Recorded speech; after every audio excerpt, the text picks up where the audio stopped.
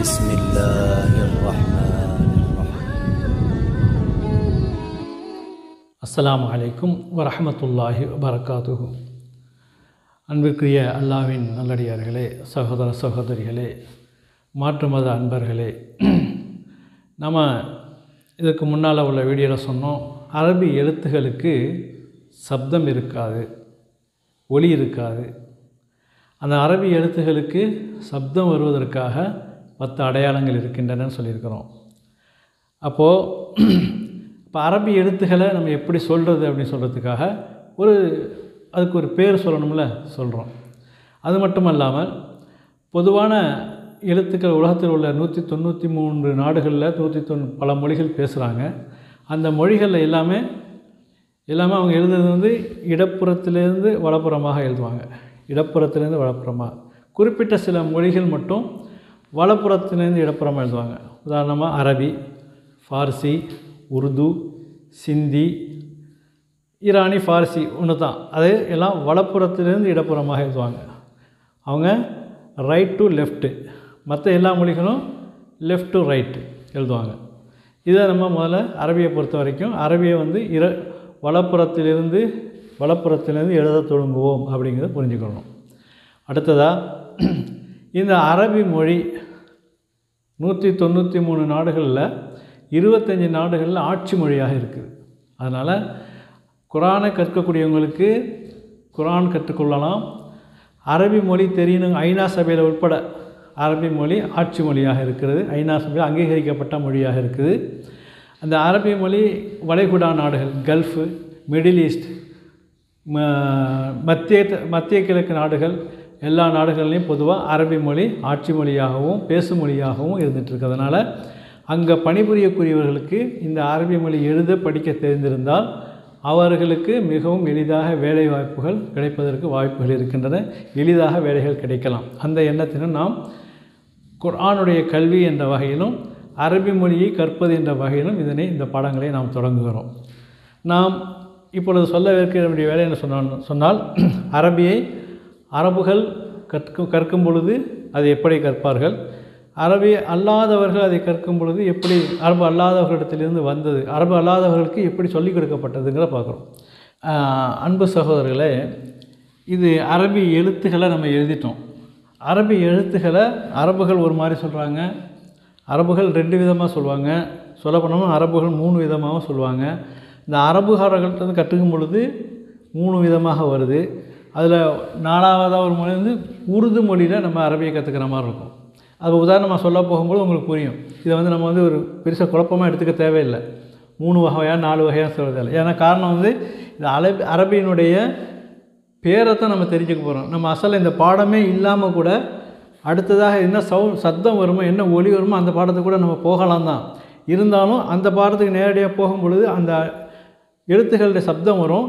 இந்த எழுத்துக்கு என்ன பேர் அப்படின்னு சொல்லும்போது நீங்கள் திரும்ப ரிவர்ஸில் வர மாதிரி இருக்கும். அதனால தான் நம்ம என்ன செய்யணும் இப்படி போயிட்டுருக்குறோம் அதாவது இந்த எழுத்துக்கு பேரை வந்து நம்ம இந்த இந்த கட்டத்தினுடைய வலப்புறத்தில் ஓரத்தில் எழுதிட்டுருக்கோமே இது வந்து அரபி மாடலில் சொல்கிறது இந்த கட்டத்தில் வந்து இடப்புறத்தில் எழுதியிருக்கிறோமே இது வந்து உருது மாடலில் சொல்கிறது அதே சமயம் ரெண்டுக்கு பொதுவாக நடுவில் வச்சு எழுதியிருந்தோம்னு சொன்னால் இதை வந்து இதை உருதுலையும் அப்படி தான் சொல்லுவாங்க அரபிலையும் அப்படி தான் சொல்லுவாங்க அப்படிங்கிறதுக்காக சொல்கிறோம் ஓகே ரொம்ப இது நம்ம போட்டு ரொம்ப குழப்பம்னு அவசியம் இல்லை.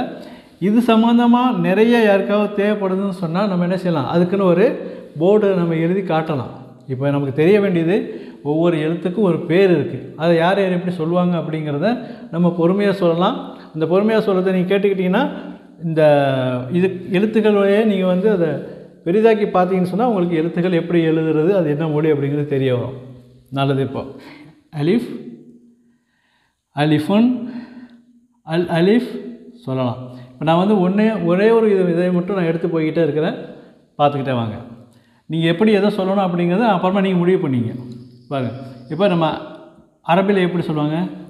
ப த ச. இந்த ச அப்படிங்கிறதுக்கு வந்து தமிழ்லேயும் அதனுடைய உச்சரிப்பு இல்லை அப்படிங்கிறதுனால எப்படி சொல்லணும்? சா. அதாவது நாக்கை பல்ல ஒட்டி காற்று வெளியே வரும்பொழுது லேசாக காற்று ஒன்று சா. சான்னு ஒரு சவுண்டு வந்துச்சுன்னு சொன்னால் அது சா. ஜீம். இது வந்து எப் எல்லா வகையிலும் ஒரே மாதிரியே சொல்லுவாங்க. இதுக்கு வந்து அரபியில் ஒரு மொழி உருதுல ஒரு மொழிகள். ஜீம். இது வந்து ஹா அரபியில். இது வந்து ஹா. ஹா ஹா. இது பொதுவாக எல்லாத்துக்கும் தால்னு சொல்லிடுவாங்க. இதுவும் வந்து உச்சரிக்கும் பொழுது தெளிவாக வந்து தமிழ்லையோ இல்லைங்கிறதுனால இது உச்சரிப்பு தால் தால்னு சொல்லுவாங்க. தால் இது வந்து ரா. இது வந்து ஜாய் ரா ஜா. சீன் பொதுவான பெயர் சீன். ஷீன். சுவாது. சுவாது. பொதுவான பேர் மூணுமே. வாது வாது. அது தமிழில் எழுதுறது இப்படி எழுதலாம். இங்கிலீஷில் அவ்வளோக்கா கிளியராக எழுத வராது. வாது தா. தா. லா. லா. ஐன். ஐன் பொதுவான பேர். கைன். இது தமிழில் எழுதியிருக்கிறோம். ஓரளவு தான் இது கைன்னு சொல்லணும். கைன் சொல்ல முடியாது. கைன். இது ஜிஹெச் போட்டு கைன் சொன்னால் கூட கைன். சரியான உச்சரிப்பு இல்லை. இருந்தாலும் கைன் போட்டு காட்டியிருக்கோம். இது எஃப் இங்கிலீஷில் வரணும் ஃபா. ஃபா. காஃப். பொதுவான பேர். காஃப். காஃப். இது காஃப் கியூ சவுண்டு லேசாக கா அப்படி வரணும். இது க வாயில் முன்பக்கத்தில் இது லாம் பொதுவான பேர். மீம் நூன். காஃப் லாம் மீம் நூன். ஹான்னு சொல்லுவாங்க. ஹா. இது பொதுவான பேர் வாவ். பொதுவான பேர் யா. இப்போ நான் சொன்ன மாடல் பூரா அரபி மாடலில் சொல்லியிருக்கிறோம். இதில் வந்து அல்பா அல்ஜீம் அத் அல் காஃப் அல் லாம் அல் மீம் இப்படி சேர்த்து அலிஃப்லாம் சேர்த்து சொல்லலாம். நம்ம ப முதல்ல கற்றுக்கணுங்கிறதுக்கு அதெல்லாம் அவ்வளோ தூரத்துக்கு போக இப்படி சொல்லலாம்ங்கிறது தெரிஞ்சுக்கணும். அதே போல் இதை பான்னு சொல்கிறத பாவுன் தாவுன் சாவுன் ஜீமுன் தாலுன் தாலுன் இந்த மாடலே சொல்லலாம். லாமுன் ஹாவுன் வாவுன் யாவுன் இது சொல்லலாம். இதெல்லாம் நமக்கு வேணாம். அல் அலிஃப் போட்டு சொல்ல வேணாம். அலிஃபுன் பாவுன் போட்டு சொல்ல வேணாம். நமக்கு இது எப்படி நமக்கு பேர் தேவை அப்படிங்கிறதுனால அலீஃப் பாங்கிறது இந்த அரபியில் சொல்ல மாடலில் சொல்லிட்டோம். இப்போ உருதுல நம்ம பழக்கத்தில் முன்காலத்தில் நமக்கு எப்படி சொல்லி கொடுத்தாங்க அப்படிங்கிறத பார்க்கும் பொழுது நமக்கு வந்து அலிஃப் சொன்னாங்க பேன்னு சொன்னாங்க. பே தே ஃபே ஃபேன்னு சொன்னாங்க. ஜீமு இது ஹே ஹேன்னு சொன்னாங்க லேசா. ஹே இது பொது பேர். தாலு ஜாலு பொது பேர். இதை வந்து ரேன்னு சொல்லி கொடுத்தாங்க. ரே ஜே இசட் சவுண்ட் வருது ஜே சீன் சீன் ஷீன் சீன் ஷீன் சாது சாது எஸ்டபிள்யூ வந்து சாதுன்னு வரும். வாது தாது தோ தோய் அப்படிம்பாங்க தோய்னு சொல்லுவாங்க தோன்னு சொல்லுவாங்க. லோய் லோன்னு சொல்லுவாங்க லோயின்னு சொல்லுவாங்க சில பேர். இது ஐன் பொது பேர் பொதுப்பேர். பொது பேர் ஃபேம்பாங்க ஃபே காஃப் பொதுப்பேர் காஃப் பொதுப்பேர் காஃபு லாம் மீம் நூன். இது மூணுமே பொதுப்பேர் காஃப் லாம் மீம் நூன். ஹே வாவ் ஏ. ஹே வாவ் ஏ. இப்போது எல்லா எழுத்துக்கும் நம்ம சொல்லக்கூடிய முறைகள் வந்து அல் அலிஃப் வச்சு சொன்னாலும் அலிஃப் இல்லாமல் அலிஃபுன் பாவுன்னு சொன்னாலும் நம்ம இப்போ சொல்லியிருந்த அலிஃப் பா தாசன்னு சொல்லி அது ஒரு ம- அரபி மாடல் தான். அதை விட்டுட்டு இப்போ உருது மாடல் அலிஃப் பே தே சே இப்படியும் சொல்லலாம். இப்போ சொல்லி முடிச்சிட்டோமா? இப்போ இவைகளெல்லாம் அந்த எழுத்துக்களுக்கு உண்டான பெயர்கள் தான். இந்த பேர்கள் நமக்கு எந்த வகையில் பலனளிக்கிறது நம்ம கடைசியில் தான் தெரியும். ஆனால் நம்ம இதில் வந்து என்ன செய்ய வேண்டியிருக்கு? இந்த பேர் இது தனி எழுத்து மட்டும் நமக்கு சத்தத்தை தராது. இது எப்போ நமக்கு பயன் தரும்னு சொன்னால் இது மேலே கோடு. ஜபரு ஜேரு பேசுன்னு சொல்லுவாங்க. மேலே கோடு கீழே கோடு. சுழியை போடு அப்படின்னு சொல்லி சொல்லுவாங்க. அந்த மாதிரி அந்த எழுத்துக்கு போடும் பொழுது தான் அதுக்கு உண்மையான சப்தம் அதுதான் அப்போ தான் பலன் அந்த எழுத்துக்கள் நமக்கு பலன் தரும். அது வரைக்கும் இந்த எழுத்துக்கள் ஊமையாக நமக்கு இருக்கும். இந்த எழுத்துக்கள் நம்ம இடத்துல பேசாது. நாம் அவர்கிட்ட பேசணும்னு சொன்னால் அதுக்கு மேலே பத்து அடையாளங்களில் ஏதோ ஒரு அடையாளங்கள் வரும்பொழுது அந்த எழுத்துக்கள் நம்ம இடத்துல பேசும். இதில் நமக்கு இன்னொன்று தெரிஞ்சுக்க வேண்டியது என்னென்னு சொன்னால்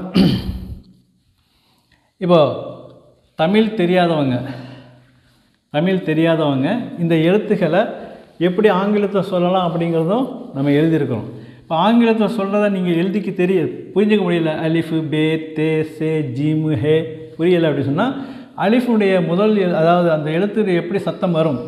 அலிஃப்னா ஏ சவுண்டு வரும். பா பேனா பி சவுண்டு வரும். தேனா டி சவுண்டு வரும். ஜீம் இது சேக்கு வந்து ஒரு உருப்படியான சவுண்டு ஆங்கிலத்துலேயும் தமிழ்லையும் வராது. அதனால் விட்டுட்டோம். இது வந்து சேன்னு சொல்லுங்கள் இது ஜேயை வந்து ஜே சவுண்டு ஜீவுக்கு வந்து ஜே சவுண்டு வரும். ஹேக்கு வந்து இந்த ஹேக்கு வந்து ஹெச் சவுண்டு வரும். இன்னொரு ஹெச் இங்கே இருக்குது ஹேன்னு ஒரு சவுண்டு இந்த ஹெச் இந்த ஹெச்சு இந்த ஹெச்சும் ஒரே மாதிரியாக இருந்தாலும் ரெண்டுக்கு வித்தியாசம் இருக்குது இது வந்து ஹேன்னு சவுண்டு வரும். ஹே ஒரு புகை புகைமூட்டை மாதிரி சவுண்டு ஹ உரைக்கிற மாதிரி சவுண்டு வரும். ஹ இது வந்து அந்த அடி வா இந்த அடி வயிற்றுலேருந்து வர மாதிரி ஹா ஹா ஹி அப்படி சவுண்டு வரும். இது ஹெச்சு இப்போ இது ஹெச் சவுண்டு வரும். இது வந்து கேஹெச் சேர்த்தா இது கே சவுண்டு கான் சவுண்டு வரக்கூடாது ஹான்னு சவுண்டு வரக்கூடாது. ரெண்டுக்கும் இடையில சேர்ந்து ஹா அப்படிங்கிற சவுண்டு வரும். ஹா நம்ம குறிப்பாக அதுக்கு கே போடுவாங்க இங்கிலீஷில் படிச்சுக்கிறதுக்காக. இப்போ இது ஒரு தாலு அதுக்கு டி ஈக்குவலாக இருக்கும். தாலுக்கு டி ஈக்குவலாக இருக்கும். தாலுக்கு எழுத்து வராது. இருந்தாலும் எப்படி சொல்லணும்? தல் த தி து சொல்லணும். அது. இது வந்து ரேன்னு நம்ம சொன்னாக்கா இங்கிலீஷில் நம்ம ரா ஆர் ஆர் எழுத்து வந்துடும். இந்த ஜெய்க்கு வந்து இசட் நேர் பொருத்தமாக இருக்கும். அதே போல் சீனுக்கு எஸ் பொருத்தமாக இருக்கும். ஷீனுக்கு எஸ் ஹெச் ஷீங்கிற சவுண்ட் தான் ஷா ஷீ ஷூ. எஸ் ஹெச் கரெக்டாக வரும். இந்த சாதுக்கு எஸ் டபிள்யூ பட்டம் ஸ்வா சான்னு சொல்லாமல் சோன்னு சொல்லாமல் சான்னு சொல்லாமல் சோன்னு சொல்லாமல் ஸ்வா ஸ்வா அப்படி சொல்லுவோம் அரபியில் ஓதும் பொழுது உங்களுக்கு தெரியும். சாங்கிற எழுத்தை வந்து இது சிரா. சிராத்தல் முஸ்தகிம் சொல்லும்போது தெரியும் அதெல்லாம் தெரியும். அடுத்தது இங்கே வாது. வாது. இந்த வாது தான் அரபிலேயே சிறந்த எழுத்துன்னு சொல்லுவாங்க. ஏன்னா இந்த லாது மொழியை அரபி அல்லாதவங்க உச்சரிக்கிறது கஷ்டப்படுவாங்க. அதனால் இந்த அரபிய லா லோகத்து வாதுன்னு சொல்லுவாங்க. வாதுன்னு சொல்லுவாங்க. இந்த பல்லை வந்து நாக்கு வந்து ஒட்டி வாதுன்னு சொல்லுவாங்க. அடுத்தது தா. இந்த தா வந்து இதுக்கு ஈக்குவலாக டீ இருக்குது இந்த லாதுக்கெல்லாம் பொருத்தமான அரபிய இங்கிலீஷ் வார்த்தைகள் இங்கிலீஷ் ஆங்கில எழுத்துக்கள் இல்லை. தாக்கு வந்து டீங்கிற சத்தம் வரும். ஆனால் ஏற்கனவே தானும் ஒரு சவுண்டு போட்டிருக்கிறோம். இந்த தா சொல்லும்போது தான்னு சவுண்டு வரும்.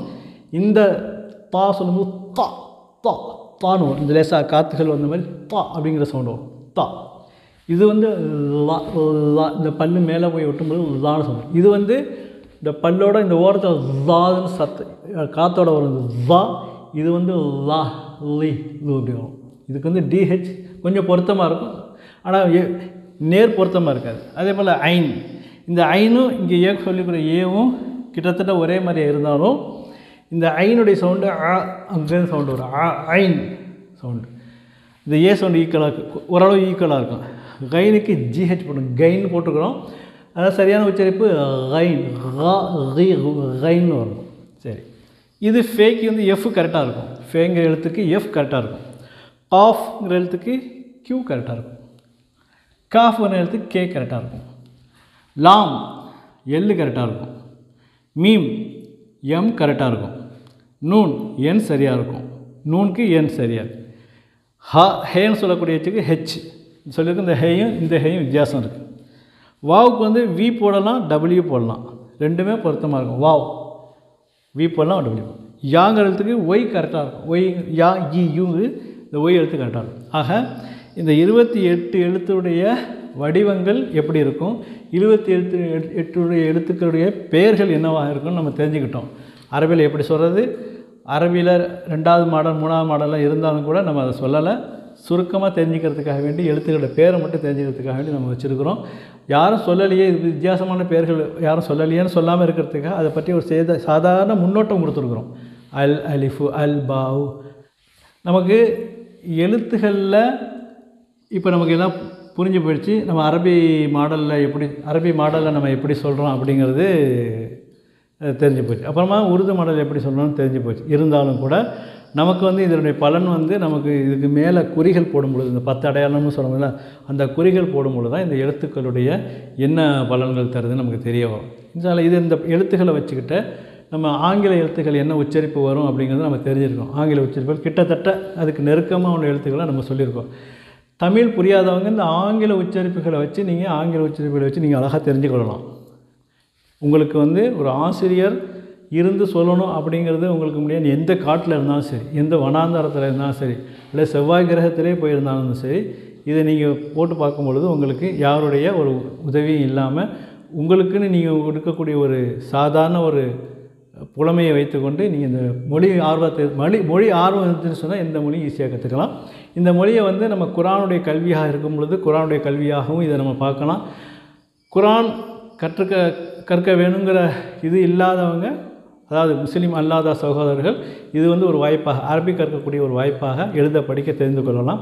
அந்த வகையில் தான் இந்த பாடத்தை நம்ம நடத்திட்டுருக்குறோம் இன்ஷா அல்லா இதனுடைய இதில் என்ன உங்களுக்கு சந்தேகம்? இன்னும் உங்களுடைய ஆலோசனைகள் இருந்தால் உங்களுடைய மேலான ஆலோசனைகளை சந்தேகங்களை நமக்கு நீங்கள் தனிப்பட்ட முறையிலேயோ அல்லது இது கமெண்ட்ஸ்கள் கொடுப்பதன் மூலமாக நமக்கு தெரிவிக்கலாம். கற்கக்கூடிய மாணவர்களுக்கும் அல்லது பெரியவங்களுக்கும் இதில் என்ன நாம் சொல்லக்கூடிய ஆலோசனை என்னன்னு சொன்னால் இந்த வீடியோக்களை பார்க்கும் பொழுது உங்களுக்கு எழுத்துகள் எப்படி பண்ணணும் ஏது பண்ணணும் தெரியும்னா அந்த வீடியோவை ஓடி விட்டு நீங்கள் ஒரு நோட்டு புக்கை வச்சு நீங்கள் அதை எழுதிக்கிட்டிங்கன்னா அதை எழுதிக்கிட்டு அதுக்கு பிறகு நீங்களாக ஒருத்தரை பா வாசித்து ரெண்டு மூணு தடவை படிச்சுட்டு நம்முடைய வீடியோவை பார்த்தீங்கன்னு சொன்னால் இதை விட உங்களுக்கு பெட்டராக உங்களுக்கு அது ஐடியாக்கள் வரும் நல்லா புரிய வரும். அதனால் இவைகள் வந்து எழுத்துக்களை நீங்கள் முதல்ல உங்கள் உங்கள் நோட்டில் காப்பி பண்ணி பாருங்கள் உங்கள் நோட்டில் அதை என்ன செய்யுங்க? எழுதி பாருங்கள் எழுதிட்டு அதனுடைய பொருள்களை எழுதி பாருங்கள் அதனுக்கு பிறகு வந்து நம்ம வந்து இதனுடைய வடிவங்கள் இதனுடைய வடிவங்கள் எப்படி மாறுது இதனுடைய சப்தங்கள் எப்படி வருது அப்படிங்கிறதெல்லாம் இந்த பாடத்தினுடைய அடுத்த வடிவங்களை நமக்கு அடுத்த இதில் பார்க்கலாம். அஸ்லாம் வலைக்கம் வரமத்துல்லாஹி வரகாத்து